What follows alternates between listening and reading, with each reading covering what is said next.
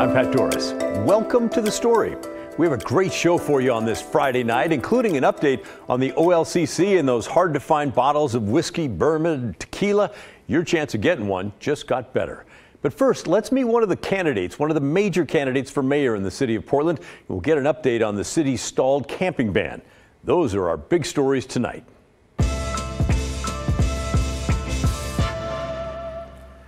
By this time next year, Portland will have an entirely new form of government and a new mayor. Over the next few weeks, we'll hear from the major candidates, with Blair Best honing in on their strategies when it comes to the homeless crisis. Tonight, Blair sits down with Mingus Mapps.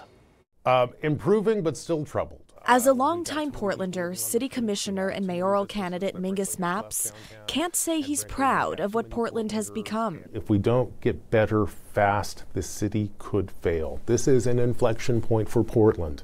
On your campaign website, it says, I have a vision to make Portland the best run city in the United States. What is that vision? Oh, great. Well, this is a unique opportunity and moment in the history of Portland. One of the things that will happen on January 1st, uh, 2025, is that we'll have a new form of government. One of the things that we have to do is, you know, all 24 bureaus within the city have to be synced up and working and pulling in the same direction.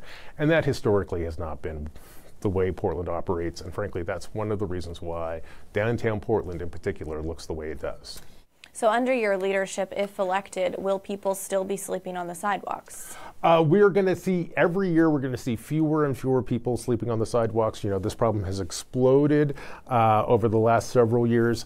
The metric I'm committed to holding myself accountable to is seeing the absolute number of people who are sleeping on our sidewalks decrease over time. I'd like to see it shrink by at least half in our first four years.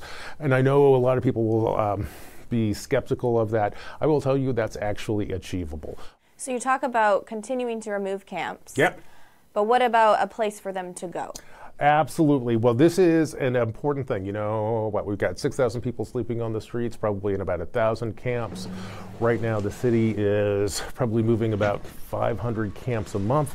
Um, and every time we go out to a camp, or to an RV. Uh, we let folks know, listen, you need to move here. Uh, we tried to connect them with services. Even though services are limited, he points to the city led tiny home villages as part of the solution. He wants to make that program a county responsibility. One of the conversations that the next mayor needs to have is to make sure that the county takes over this work so that, you know, I and future commissioners on council can focus in on parks and roads and, delivering safe water and keeping our rivers clean. And is it really just financial reasons that you'd want the county to take all of that over? Well, number one, this is really appropriately their their work. You know, this the city does the the things that are on the names of our bureaus: parks, uh, water, cops, fire.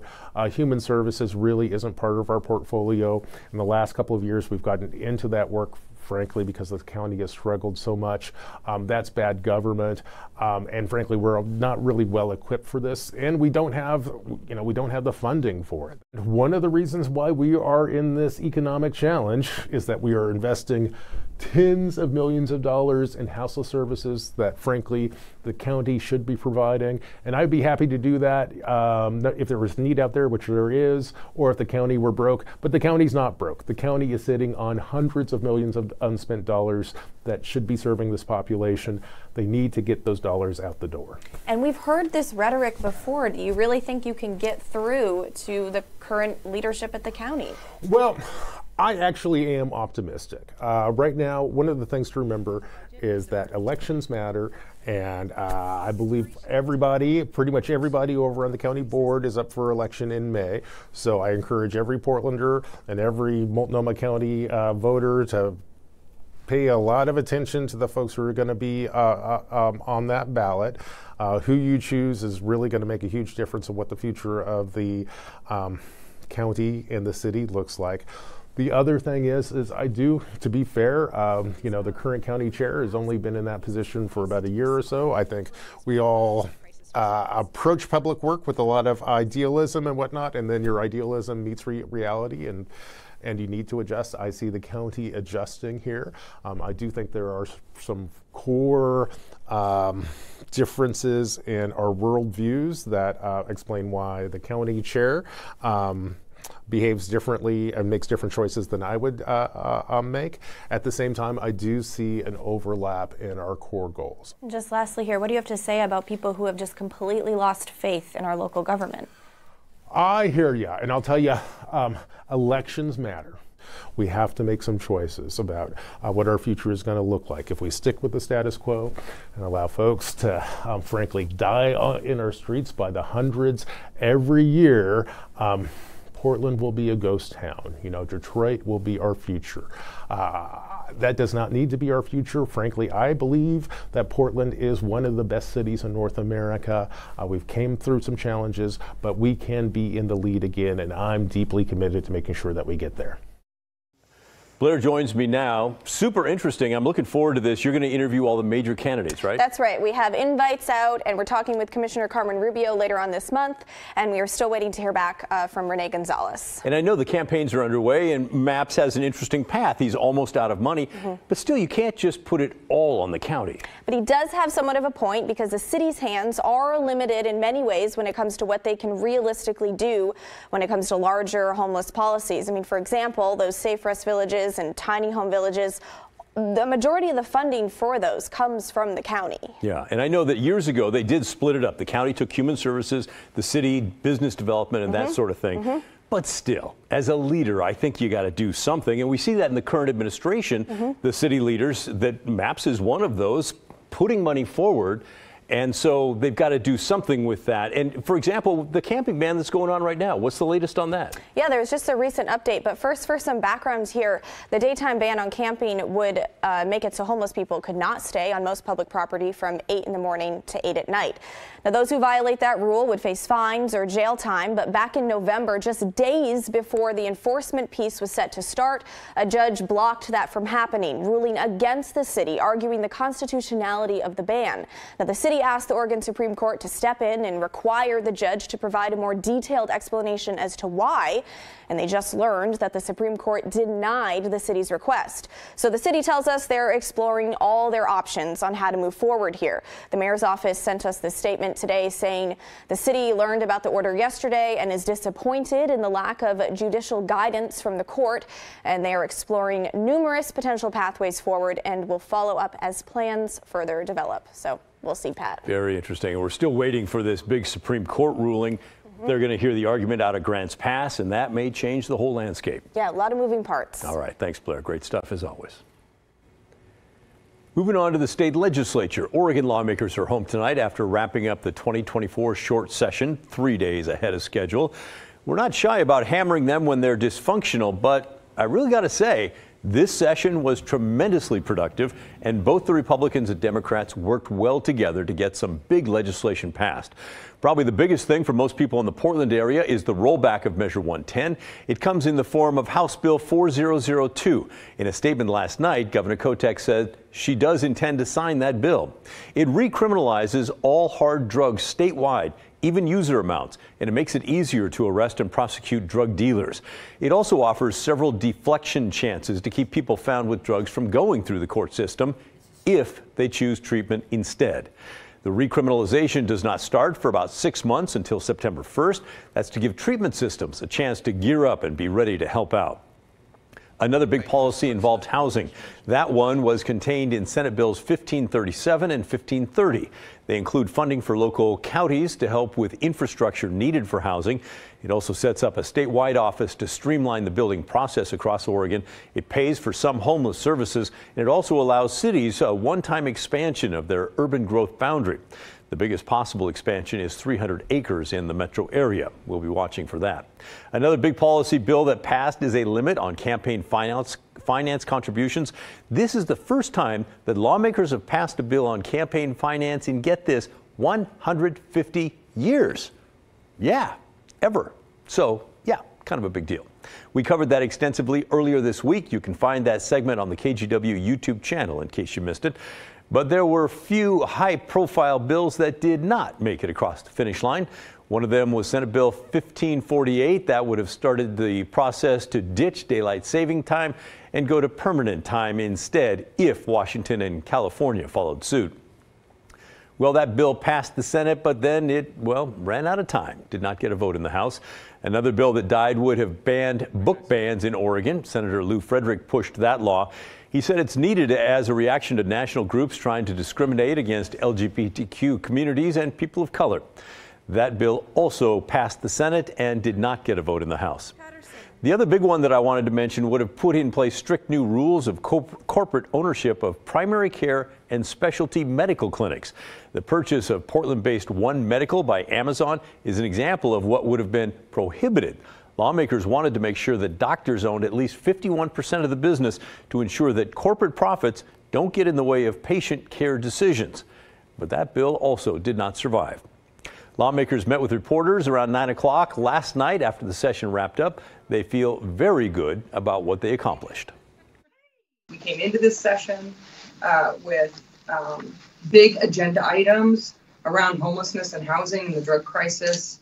Uh, and I think, you know, we're really, really proud of being able to have bipartisan measures in both those big, huge things and how well we work together. And I am incredibly proud of my caucus and um, how we came through this session. And um, it's challenging to feel disappointed about a session when we set our clear priorities out and achieved all of those priorities. The big challenges that are facing our communities, that's what we, it's a 35 day session. We knew that there were going to be some things that wouldn't, you know, make it through, but we, at the end of the day, we had to deliver on housing and homelessness and behavioral health care and addiction and public safety. And those were the things that and as our jobs as leaders were those big priorities.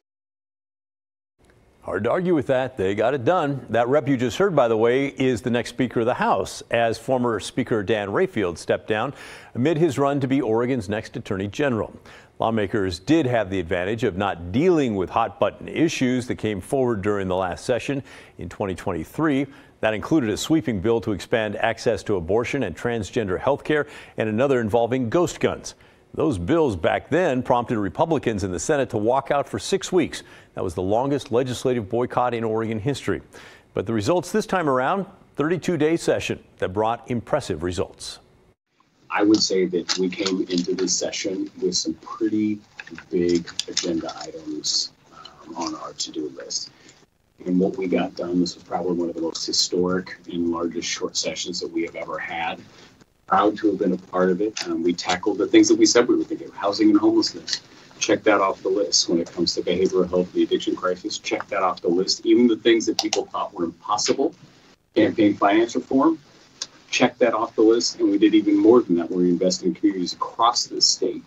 Rolling up our sleeves, getting back to work, and then starting the process, leveraging our interim committees and just keeping it going. So it's it's an interesting opportunity to have a short legislative session. I'm, know, I have history around here too, where it was the long session, it went forever, and then, you know, we'll see in 18 months. And instead, now it's really with annual legislative sessions, the work just keeps going.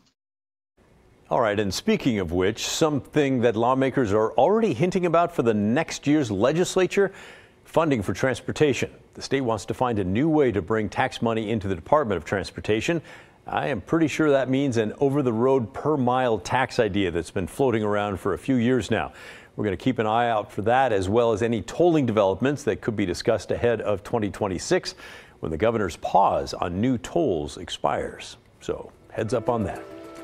Coming up next on the story, huge environmental news this week in Oregon. The so called Habitat Conservation Plan took a big step forward in an effort to conserve land for endangered species. But it limits timber harvest on state land, and you can bet the logging industry has something to say about that. You'll hear it when the story returns.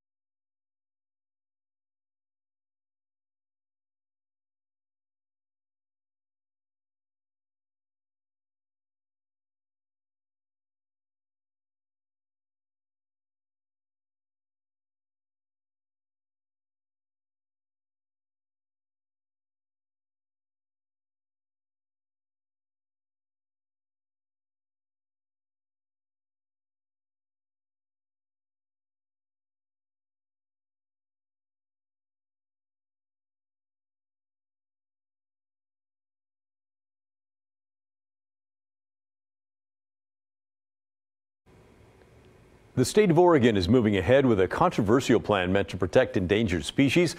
You may have heard of it. It's called the Habitat Conservation Plan. It passed this week barely on a 4 to 3 vote. So, why is saving endangered species so controversial? Well, because there's going to be some big time limits on timber harvesting on state forest lands. We're talking hundreds of thousands of acres, predominantly in Tillamook and Clatsop counties. And you can bet the timber industry is less than thrilled. Thomas Schultz has our story. And I vote uh, yes as well. And with that, the motion passes. After decades of discussion, the Oregon Board of Forestry finally passed a habitat conservation plan Thursday. A controversial plan dozens of loggers and families protested. The HCP sets aside 700,000 acres of land for endangered species habitats over the next 70 years and comes after the state was hit with lawsuits which claim Oregon violated the federal Endangered Species Act by destroying endangered species habitats when land was sold for logging. We need some protection from the lawsuits uh, that that happen. Oregon Board of Forestry Chair Jim Kelly voted for the plan in a four to three decision. Still, many in the timber industry say the plan hurts their wood supply. It's a sad day for Oregon. Oregon Forest Industries Council balanced. President Chris Edwards says the decision will cut state forest harvest by a third. Kelly disagrees and says harvest will be cut between 15 to 25 percent. Regardless, there's concern jobs will be lost. We anticipate that there will be more mill closures. Already, Hampton Lumber closed a mill in Banks because of the plan. And a spokesperson for Hampton Lumber says other companies will likely have to close mills too. This decision is layered on top of other things that have been really impactful to the sector over the last few years. Things like 2020 wildfires and an accord between environmentalists and the timber industry to protect species. And this decision comes after hundreds of mills shuttered statewide over the past 35 years. And Kelly says companies' concerns are valid. There's nobody who's really wrong in this. Still, he adds, the forestry department has spent decades cultivating a plan, and if they don't create protocols in line with the Endangered Species Act, lawsuits currently stayed in court could resume in 2028. And with the clock ticking, Kelly says the board had to act. Most people agree the concept of an HCP, uh, habitat conservation plan, is a good one. And Kelly expects the plan to go into effect early next year after receiving federal input. Another concern raised is tax revenue, which is heavily impacted by the timber industry in Tillamook and Clatsop County. Though Kelly is optimistic the state legislature will fill holes in county budgets from lost revenue in next year's legislative cycle. Thomas Schultz, KGW News. Thank you, Thomas. Coming up next on the story, the so called Bourbon Gate scandal rocked Oregon's Liquor and Cannabis Commission about a year ago. Several officials at the agency were accused of diverting rare spirits to themselves instead of giving the public a chance to buy them in lotteries. Well, now the OLCC has relaunched the Chance to Purchase lottery. We have all the details, including new safeguards to protect from a Bourbon Gate round two when the story returns.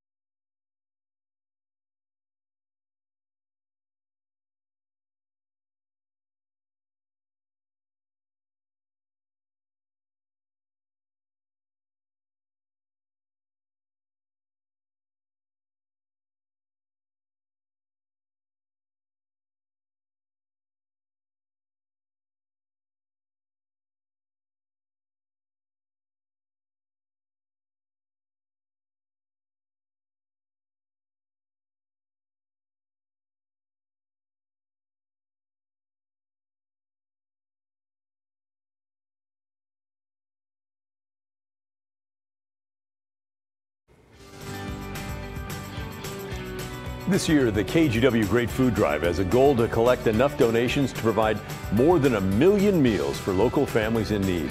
One way to help, give online at kgw.com slash food drive. It really does make a difference. Last year, almost 2 million people in Oregon and Southwest Washington sought food assistance from the Oregon Food Bank Network. A $10 donation can provide as many as 30 meals.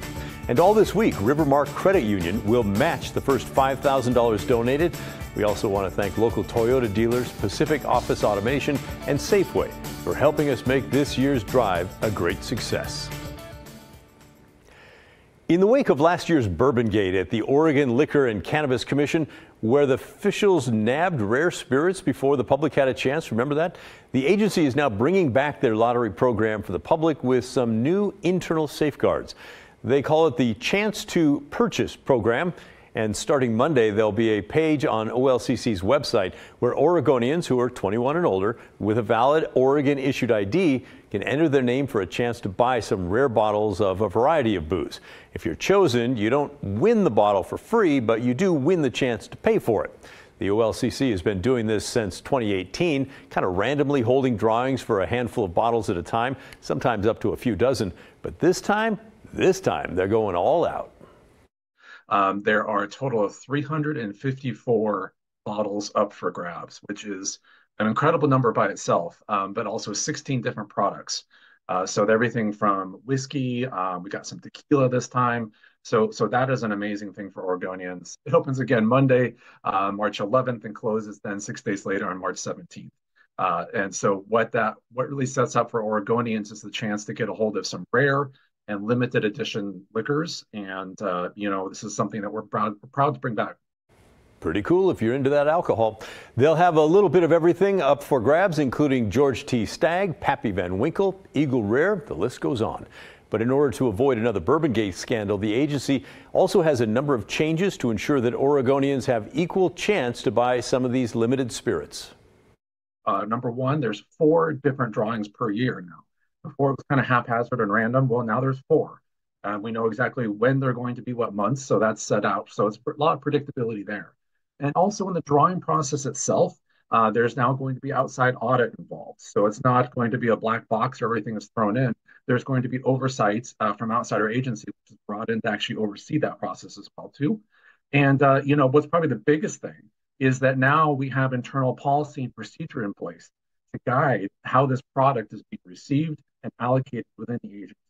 So right now we know exactly what comes in for these rare limited edition products, you know, what goes to liquor stores, what goes to chance to purchase, and then also what we're hanging on to for what we call safety stock, which is like to account for the breaks and you know the things that happen in shipment. So, you know, before that didn't exist and now it does. So what that really gives Oregonians is assurance that uh, you know the product is being accounted for and what's available to them is actually what we say is available. And uh, that should give a lot more opportunity. There's also a change in how many bottles you're eligible to win. In the past, with the previous rules, one person could, in theory, be chosen for the chance to buy every single bottle available. But this time around, after you select your top five choices, if you're chosen for one of them, you're immediately disqualified from the other four that you were hoping for. So you can only buy the one. And going beyond just the liquor lottery, the Bourbon Gate scandal also prompted changes all across the OLCC to try and prevent something like this from ever happening again. Our agency has gone through a top down transformation. Uh, we have a whole new leadership team. And uh, also, staff has all been through a government ethics training. Uh, this is put on the board of Government Ethics Commission. And so that's something all staff has been through, all commissions have been through. And we're really embracing a new culture from the top down that sounds good to hear. Again, the Booze Lottery opens on Monday morning at 9 a.m. You can look for it on the OLCC website. Well, that's it for our show and another week wrapped up. Thanks so much for watching. And remember the story, our collective story that never ends. It just goes on and on and on. I hope that you enjoy your weekend. I know I'm going to enjoy mine. And then I'll see you right back here on Monday night at 630.